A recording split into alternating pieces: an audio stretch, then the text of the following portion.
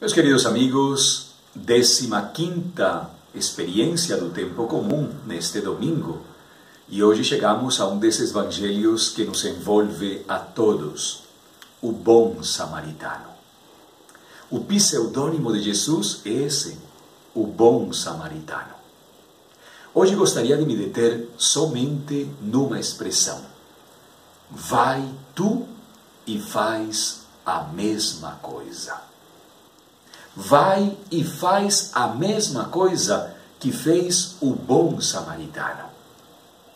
Sabem que no meio de tantas desolações, de tantas decepções, quando estamos no meio do caminho e somos totalmente arrebentados pelos ladrões da vida, que não são somente aqueles ladrões que nos roubam, senão também aqueles ladrões da nossa vida interior, quando sentimos que estamos à margem, jogados, Precisamos de um bom samaritano que se aproxime de nós. Hoje são muitos os medos na aproximação para com os outros. As pessoas sempre temos reservas, sempre temos ressalvas.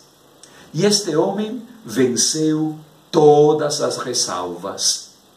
Colocou aquele homem ferido no caminho em cima da sua cavalgadura e o levou até a melhor pousada, dizendo: Se gastar a mais, quando eu passar de volta por aqui, eu te pagarei. Vai tu e faz a mesma coisa.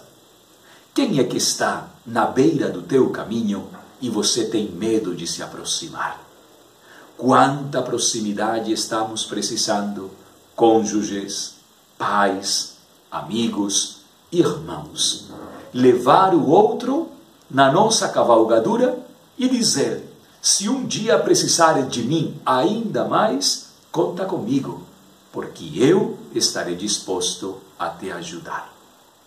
Vai tu e faz a mesma coisa. Um bom domingo, Deus abençoe sua família. Deus lhe traga muita paz.